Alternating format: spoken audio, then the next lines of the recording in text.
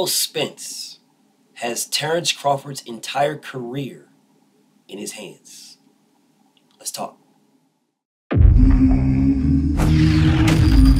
Straighter, Yep. not Yep. roundhouse right And hand. that's what we've been talking about. The straight shot is the one where he gets leverage on it. I don't want to kill Pull somebody back for a a, little few bit. seconds. Nah, I want a body on my record. Now I want to see you fight motherfuckers. I do. All right, I'm with you. I'm with you. As long as as long as you're trying to fight the great, or the the, the best competition. Welcome to the graveyard. Click the link if you dare to. Bury you alive, I'm prepared to. Welcome to the graveyard. You get your sources from clowns, so when you come around, we hear you. Welcome to the graveyard. Click the link if you dare to. Bury you alive, I'm prepared to. Welcome to the graveyard. You get your sources from clowns, so when you come around, we hear. Yo, it's the best, fight the best. If you ain't with the moto, just click the link, bitch, and get buried like the rest. It ain't gonna work how you want it. These trolls already tried, too many come but don't leave. So if you here, you gotta die. I'm spitting straight facts. These bitches crying cause they hate that. The LDBC's the top topic, bitch, hate that. We the ones that bring the truth to these fans. So while you hate, I'ma laugh and keep counting these bands. Welcome to the graveyard. Click the link, get prepared to. You alive, I'm prepared to. Welcome to the graveyard. You get your sources from clowns, so when you come around, we don't hear you. Welcome to the graveyard. Click the link if you dare to. Bury you alive, I'm prepared to. Welcome to the graveyard. You get your sources from clowns, so when you come around, we don't hear you. Welcome to the graveyard. So, Terrence Crawford is an undisputed three division champion. Got all the Boxer Writer Association awards.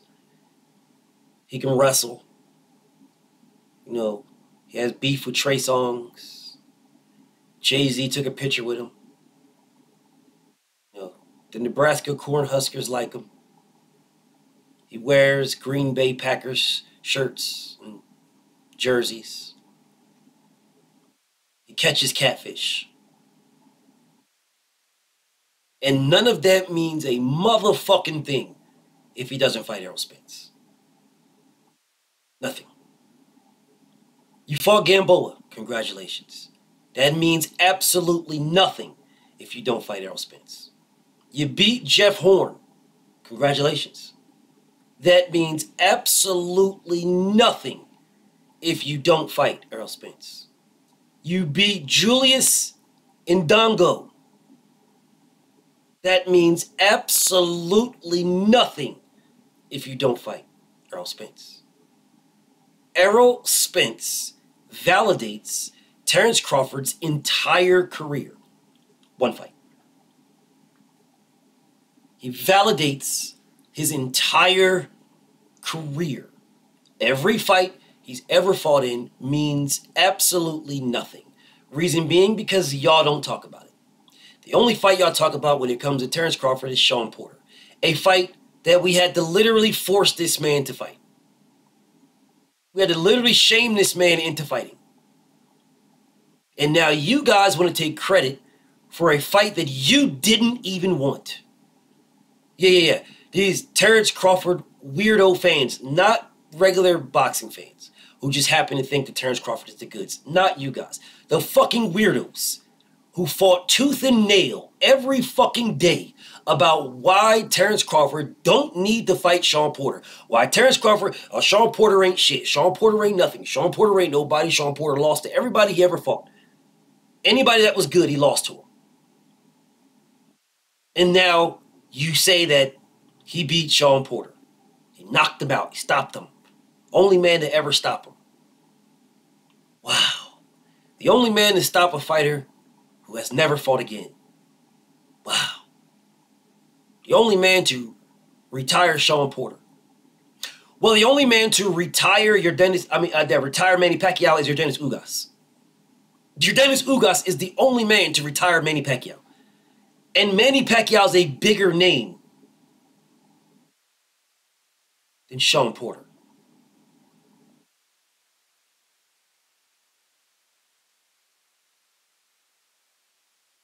Uh, Errol Spence makes this man's career. Errol Spence could say, fuck you. And all the clout chasing, all the tying your name to Errol Spence, anything that EJ does, this man's name is tied to it. All that shit goes right out the motherfucking window. all of that shit goes right out the window. All of it.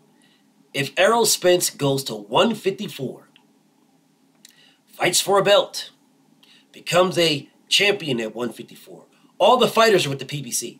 So Errol Spence can stay right on the PBC side and become a unified champion at 154. Yes, he can.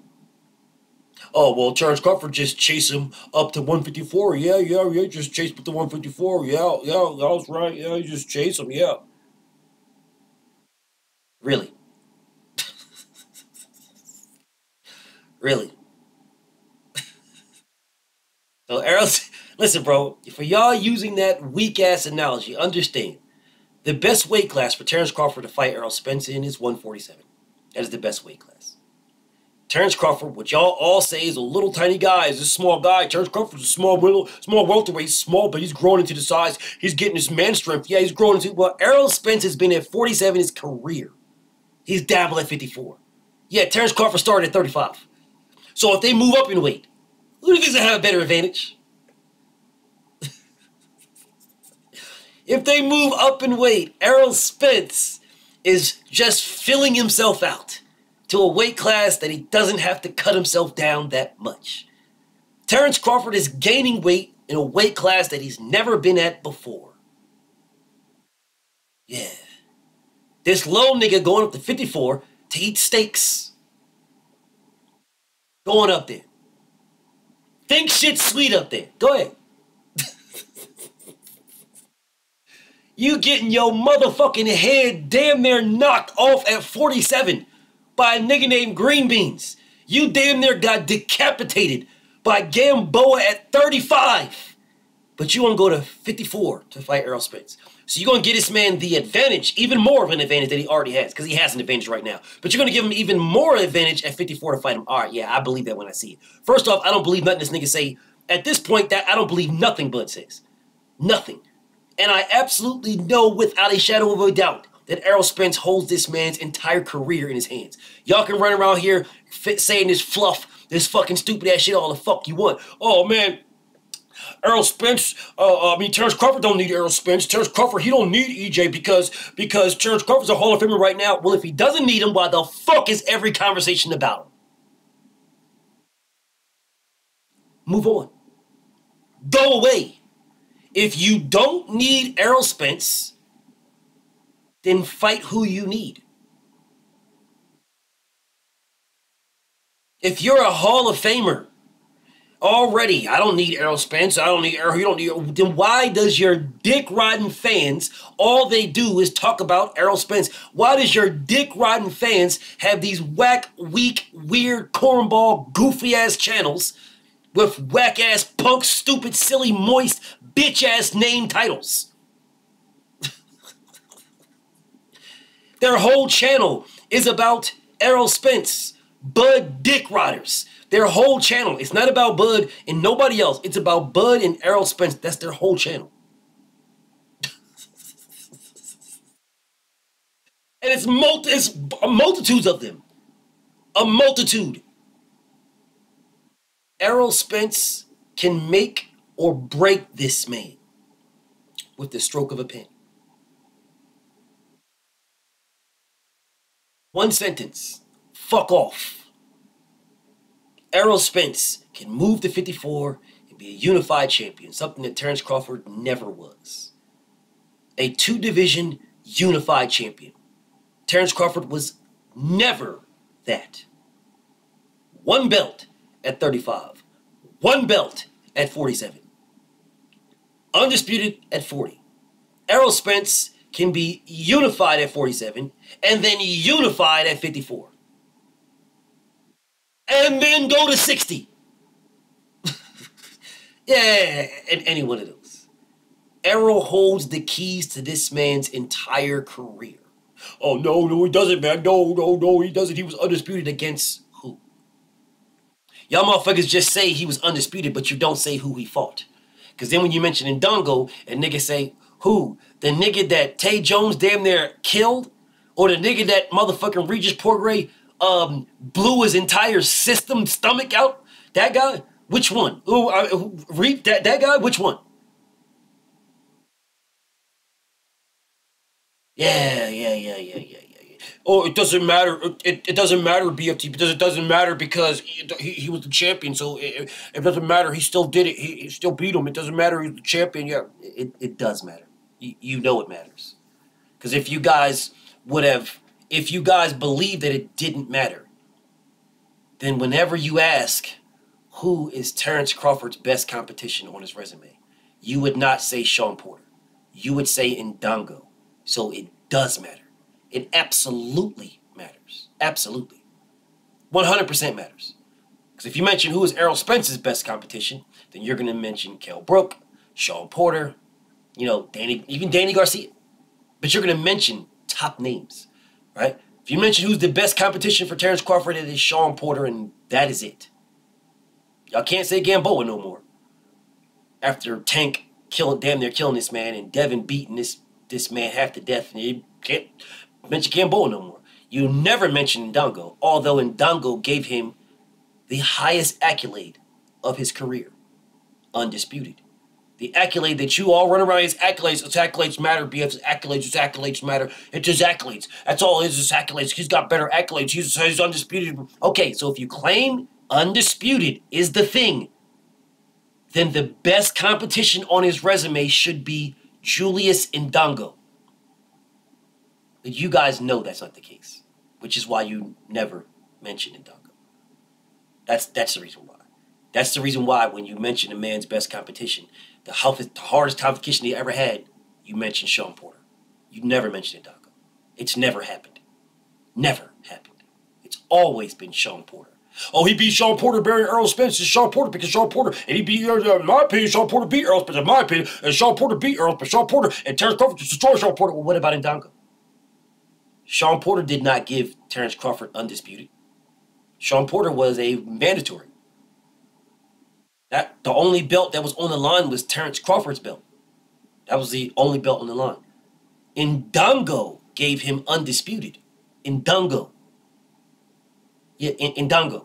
So the biggest fight, the best fight on Terrence Crawford, Crawford's resume should be Julius Ndongo, not Sean Porter. But Errol Spence never fought Julius Ndongo. So you can't compare Julius Ndongo and Errol Spence. But Sean Porter did. Yeah, Sean, Sean Porter did. You can't compare Kell Brook because they both stopped Kell Brook. You can't compare Kell, uh, you can't compare uh, Brook, but you can use Sean Porter, which is why that's the only name y'all do, because of Errol Spence. Errol Spence has this this man's this man's whole career in his hands with one fight or two. If Errol Spence says let's we'll do a rematch, although the man said I only want one fight at 47, then I'm moving up. If he wants a rematch for that one fight, so be it. I don't doesn't matter to me. I'm fine seeing that fight one, two, or three times. I'm fine seeing Errol demolish this man over and over and over again. I'm totally fine with it. Totally, I have no problem with Errol Spence fighting this man three times, four times. I have no problem, bro. You will never hear me say, "Oh man, I don't want a rematch, man." No, I speak off of what EJ says. EJ said he has one fight at 47, then he's moving up. He wants to be undisputed, and then he's moving up. Okay, well, if he wants to be undisputed and then defend it against the same person, I have no problem. No problem whatsoever. Fight him three times. Fight him four. Fight him five times. I don't care. Fight Terrence Crawford and Errol Spence. You guys fight each other for the remainder of your careers over and over and over again. Doesn't matter to me at all. I will gladly watch Errol Spence demolish this man 10 times over. I have no problem. I have no problem with that. Errol Spence makes this man's career. Errol Spence is giving this man the highest bag of his entire career. Errol Spence is giving this man's entire resume validity. Errol Spence is making this man's name pop because he damn sure ain't doing it. Bob Arum damn sure didn't do it. Julius Ndongo damn sure didn't do it. No fighter he fought at 147, not named Ter- uh, Sean Porter, damn near didn't do it. And the only reason why Sean Porter did it is because of him fighting Errol Spence. That is the only reason why. So if Errol Spence decides to say, fuck you, nigga, I'm fighting Boots. Fuck you, I'm fighting Keith Thurman. Fuck you, I'm fighting Stannis Baratheon. They're all mandatories. They're all number one for his belt. Every last one of them are great fucking fights. Every last one of them are the best fighting the best. Every single one of them. And Terrence Crawford will be left with Virgil Ortiz unless Errol Spence takes that from him too. Got your hat. yeah, yeah. Errol Spence can take that too. Everything. Errol Spence owns everything about this man. Everything. He might as well change his name from Terrence Crawford to Terrence Spence. Because Errol Spence owns this man's career. He will validate or non-validate his entire career. He will validate or or motherfucking re- rebuke it.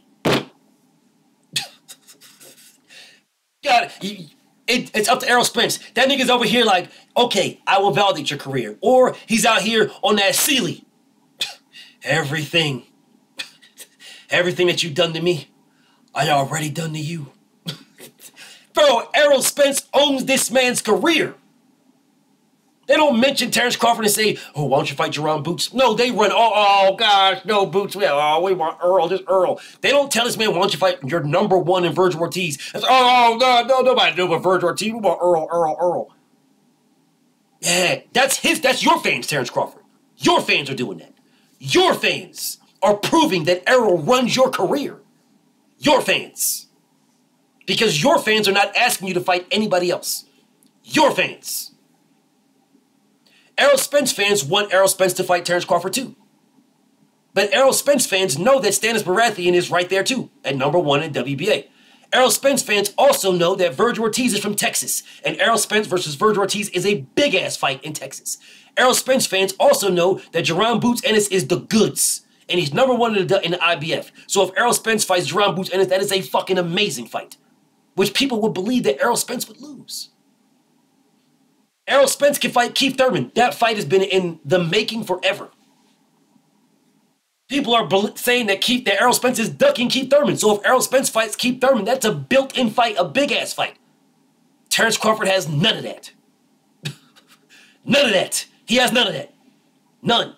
Every fight that I mentioned about Errol Spence will sell. Every single one of them. Stannis Baratheon will be at the lowest on the low end, but that's the only one that'll be on the low end. Errol Spence versus Boots sells. Errol Spence versus Thurman sells. Errol Spence versus Virgil Ortiz motherfucking sells. Errol Spence versus Stannis Baratheon sells, but it's the lowest one of all of them. Terrence Crawford don't sell with none of them motherfuckers.